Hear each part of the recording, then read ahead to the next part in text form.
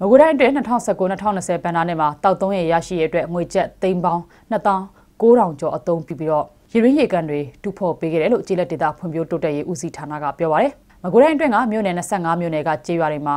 တောက်သုံးရရရှိဖို့အတွက်လုပ်ငန်းပေါင်း198ခုကိုသိန်း2900ကျော်အကုန်ကြခံပြုလုပ်ပေးခဲ့တာဖြစ်ပြီးရေရရှိဖို့အတွက်တွင်းတိန်တွင်းနဲ့စိန်ဆန်းရည်သွဲတာမိသားကန်တူဖို့တာတွေအပြင် တခြားနီလန်းတွေနဲ့လှုပ်ဆောင်ပေးနေတယ်လို့ကြေးလက်ဒေတာဖွံ့ဖြိုးတိုးတက်ရေးဦးစီးဌာနညွှန်ကြားရေးမှူးကပြောပါရယ်။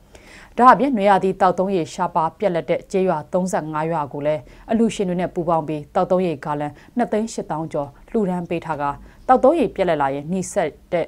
ရက်ကျေးဒေတာဖွံ့ဖြိုးတိုးတက်ရေးဦးစီးဌာနကိုဆက်သွယ်ပြီးအကူအညီတောင်းခံနိုင်တယ်လို့လည်းသိရပါရရှင်။